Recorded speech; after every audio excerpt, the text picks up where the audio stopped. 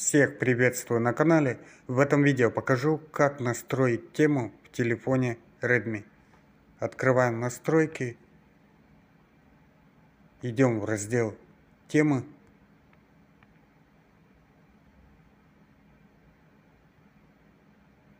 Например, мне понравилась вот такая тема.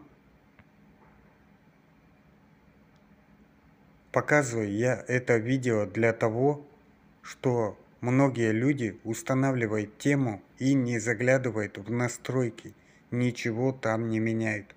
А потом им не нравится в этой теме значки, шторка с настройками или экран блокировки или что-то другое. Вот к чему мое видео.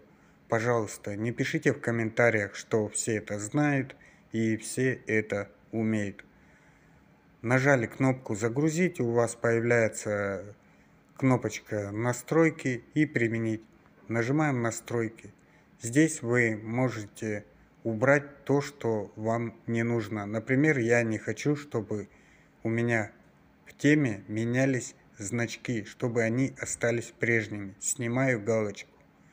Теперь мне не нужно менять экран блокировки. Тоже галочку снимаю и только после этого нажимаю «Применить тему».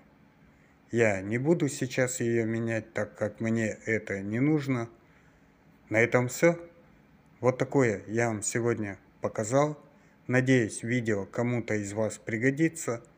Не забывайте подписываться на канал. Буду очень благодарен. Пока-пока.